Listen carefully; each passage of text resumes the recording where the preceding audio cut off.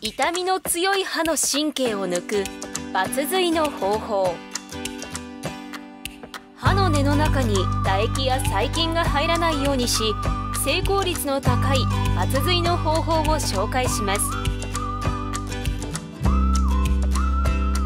1回目歯の神経を抜き消毒します。2回目歯の根の中に薬を詰めます。歯に穴が開いています。虫歯が深いため歯の神経を抜く抜髄を行います。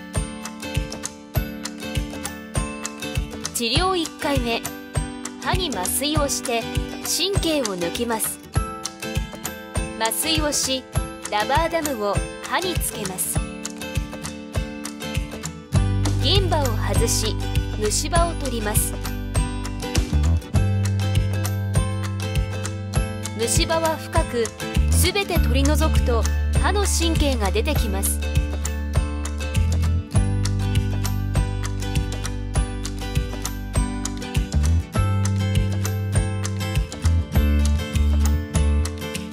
微弱の電気を流し歯の根の長さを測ります。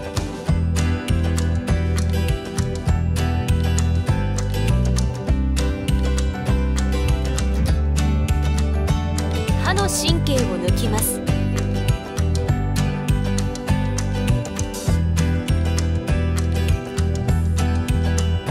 歯の根の中を薬で洗い消毒薬を詰めます。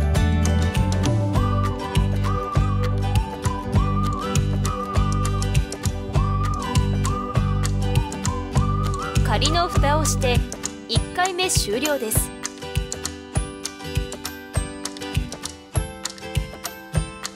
治療にはマイクロスコープを使います。治療2回目。歯の根の中に薬を詰めます。ラバーダムをして仮の蓋を外します。歯の根の中に圧力を加えながら薬を詰めますす。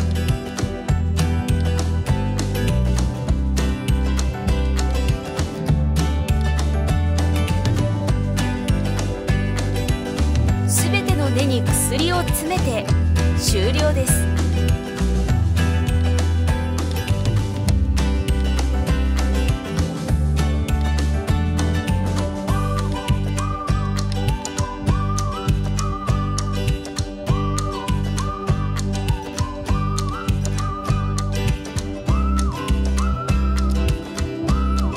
抜髄治療でラバーダムやマイクロスコープを使っている歯医者はおすすめです。